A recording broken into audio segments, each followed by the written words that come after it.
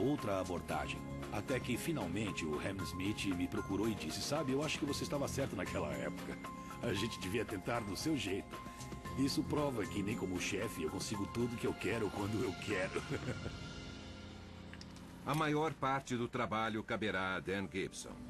Nós tomamos a decisão de seguir adiante e sintetizar o genoma da micoides. Nada tão grande assim foi sintetizado antes. Esta nova molécula será 36 vezes maior do que qualquer outra molécula com uma estrutura definida já construída em laboratório. Hoje vou adicionar fragmentos de DNA sintético em grupos de 10 à levedura, e eu vou fazer isso 80 vezes. E as células de levedura vão usar os fragmentos para montar moléculas cada vez maiores. Hoje é sexta. Na segunda de manhã nós devemos ver as colônias. Senão vamos saber que o experimento deu errado.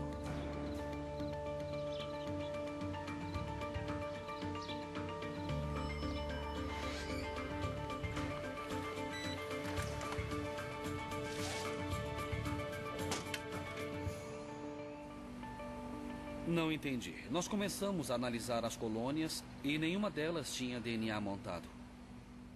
Boa tarde. A gente tem que ligar pro Ham e o Clyde e avisar o que tá vendo com a montagem na levedura. Porque não tá dando certo.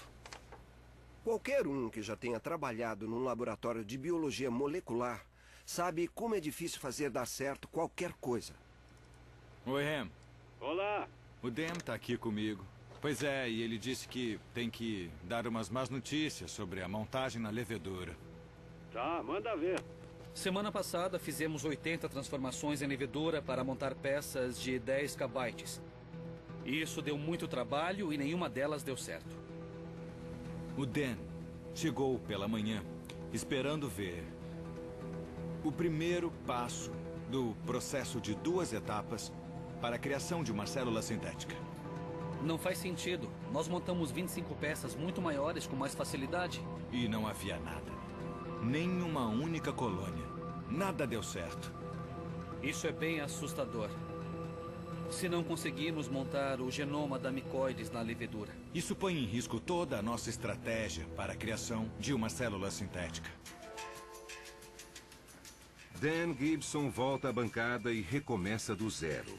Ele refaz cada passo, dividindo o processo em etapas menores.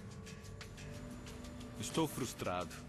E sei que o Craig, o Ham e o Clyde estão muito frustrados, porque isso é mesmo um grande problema e talvez a gente nunca chegue lá. Sem dúvida estamos pensando nisso. Há vários genes que desempenham um papel aqui. Eu pergunto há anos quando ele vai conseguir. E as previsões dele são sempre daqui a alguns anos ou meses, e elas continuam aumentando. Mas para Craig Venter é tarde demais para desistir. Ele fez uma aposta enorme no sucesso da biotecnologia sintética. Eu e o Ham fundamos uma empresa, a Synthetic Genomics, porque se atingíssemos esse objetivo, as implicações para as próximas etapas seriam enormes. Como estamos com a nossa proposta? Estamos fazendo. Tá bem. Antes mesmo de sua equipe criar uma única célula sintética, ele funda uma empresa para colher os frutos. Craig não é o único que acredita em um número quase infinito de aplicações futuras para a biologia sintética. O desafio é transformar esses micróbios em bilhões de litros. é, é isso mesmo. Acho que vamos ver o desenvolvimento de fontes de energia, porque vamos ter como limpar os vazamentos de petróleo. Acho que também vamos ter a criação de micróbios que podem entrar no corpo humano e atuar como vacinas, nos protegendo de infecções e outras coisas que estão matando muitas pessoas ao redor do mundo. Eles podem até nos ajudar na viagem espacial. Talvez sejam capazes de atuar sobre o corpo, de forma a controlar os efeitos devastadores da radiação. Então eu acho que o céu é o limite, no que diz respeito à utilidade do mundo microbial. Essa é a nossa instalação de testes do programa de combustível de algas com a ExxonMobil. Craig acha que os micróbios poderão remover o dióxido de carbono do ar e convertê-lo em combustível limpo e barato. É uma construção ecológica porque vamos aproveitar a luz do sol e o dióxido de carbono. Isso pode parecer grande demais para a produção de células pequenas, mas é só uma fração do tamanho das instalações necessárias Ahn, uma usina dessas no futuro terá o tamanho de São Francisco. Alguns temem que a biotecnologia sintética, especialmente numa escala tão grande, possa ter consequências indesejadas. Se os micróbios escaparem e forem parar em lugares onde não são bem-vindos caso sejam fabricados sem isolamento, seria grave. É preciso impor limites drásticos para impedir que a vida sintética escape do nosso controle. Nós queremos uma coisa que dependa totalmente dos cientistas para sua própria existência. Craig e sua equipe planejam tomar precauções. Podemos criar genes suicidas. Assim que mudarem de ambiente, as células vão se autodestruir. O vasto potencial desta nova tecnologia traz riscos e responsabilidades. Acho que será uma ferramenta incrivelmente poderosa, comparável com a energia nuclear. E vamos ter que decidir como usar, quem vai controlar, quem é responsável. Hum, nós queremos que ela chegue às mãos da indústria? E com quem vamos compartilhar?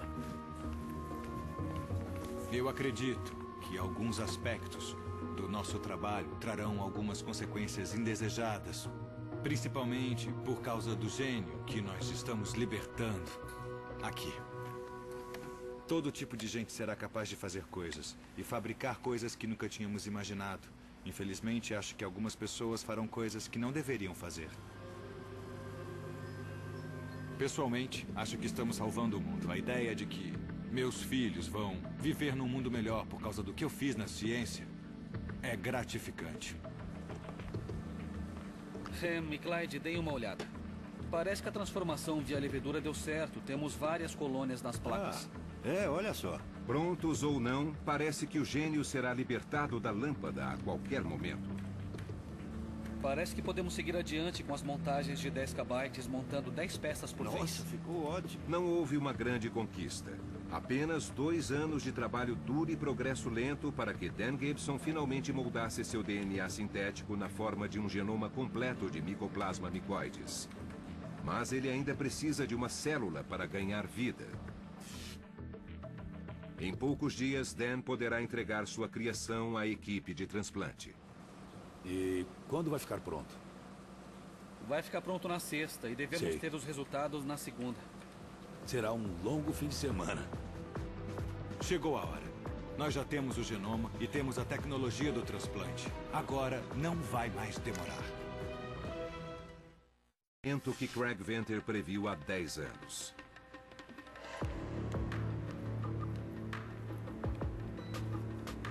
Esta molécula artificial de DNA será inserida numa célula bacteriana que também é pequena demais para ser vista a olho nu. Eu trouxe o genoma de micóides. Se Venter e sua equipe tiverem montado o código genético corretamente e não cometerem nenhum erro no transplante, uma nova espécie sintética será criada. Lima assumiu a parte do transplante de genoma da Mycoplasma micoides. E acho que é hoje que ali vai fazer o transplante e criar uma célula sintética. Esse aí é o frasco que o Dan trouxe para você? É. Excelente. A microbiologista Li Ma usa uma série de substâncias químicas em dosagens precisas. Elas amaciam a membrana da célula receptora que absorve o novo DNA sintético.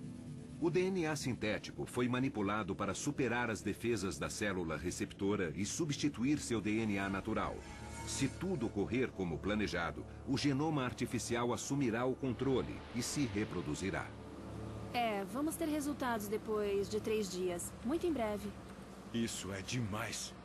Três Ótimo, dias. né? Três dias. É, três dias.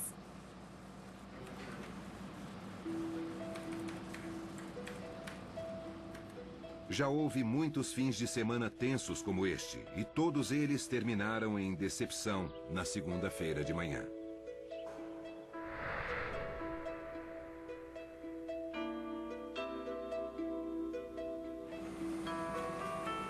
Esta segunda é diferente.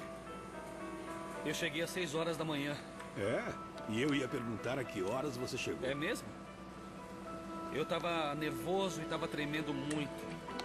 Eu só quero dar uma olhada. Parece uma colônia.